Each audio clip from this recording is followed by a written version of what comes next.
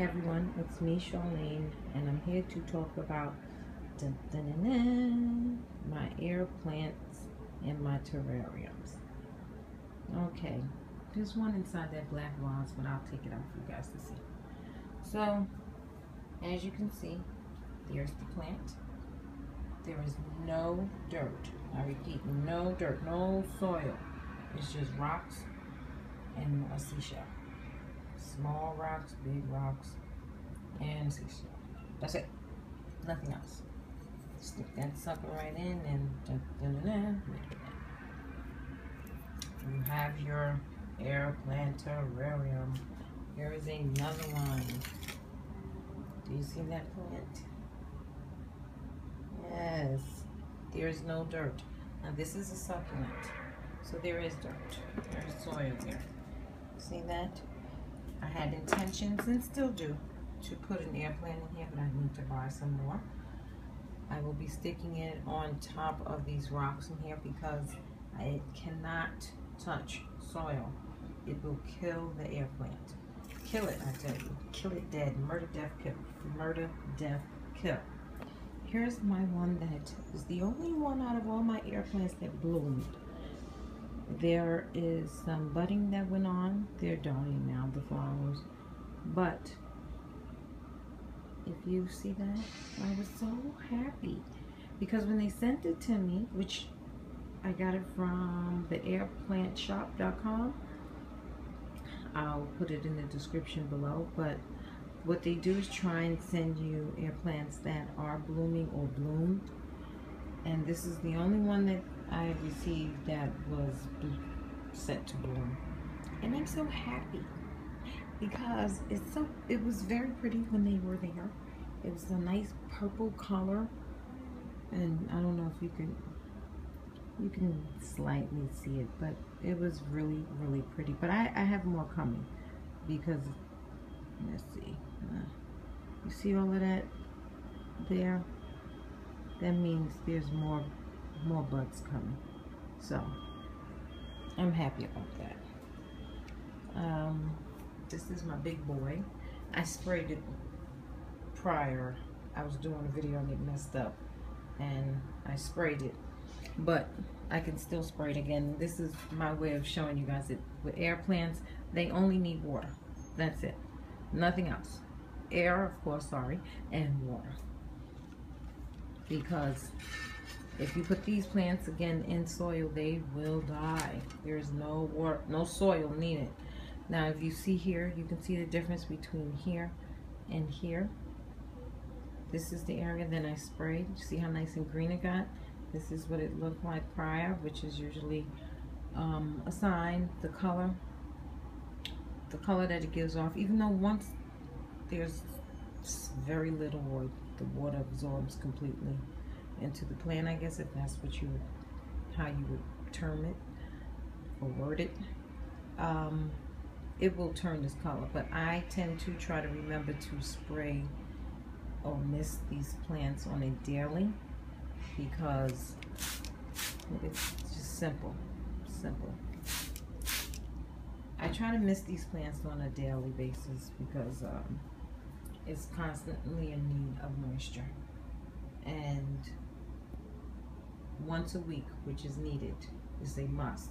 Once a week, soak these plants for 20 to 30 minutes in water. Submerge them in water. That's it. Submerge it in water, whether you put it in a tub, put it in a bag with water, bowl, however you do it, because of the size, it would depend. This one has to go in a bag because it is a big boy. Um, these others I can put in bowls and whatnot. But anyway, uh, submerge it in water for 20-30 minutes. Take it out, shake the water off just a little. Don't shake it like a Polaroid picture, okay? No, it's a simple shape.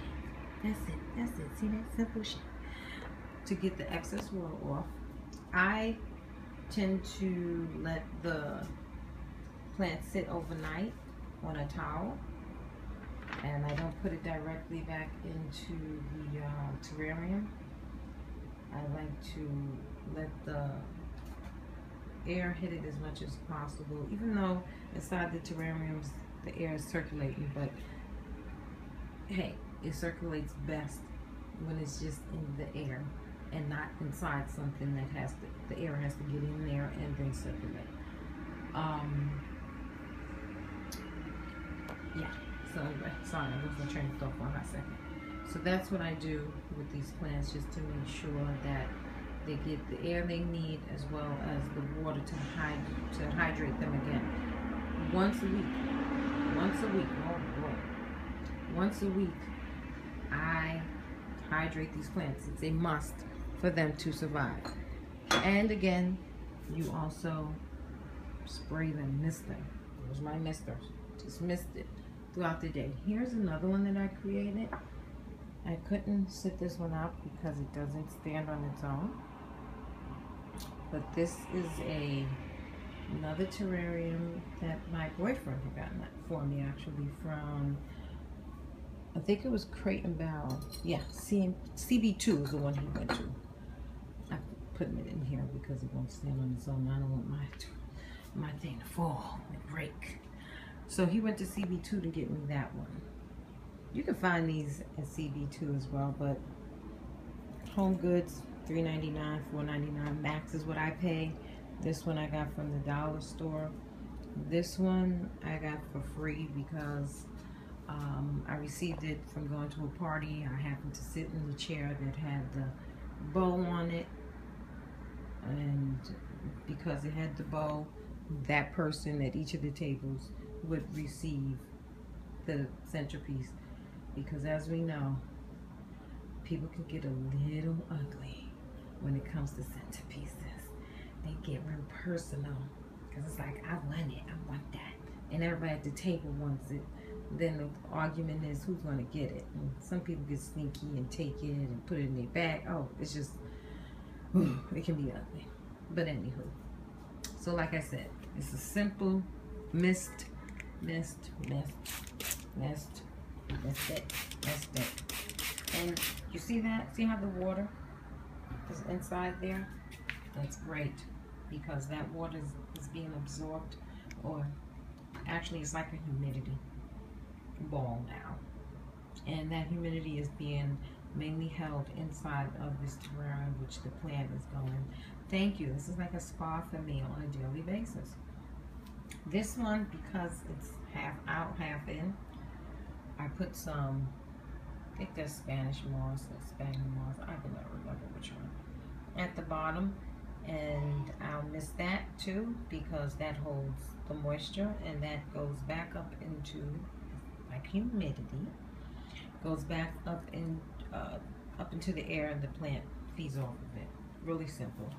With the succulent, again, I'll spray inside there too, but um, I usually just water that once, maybe twice.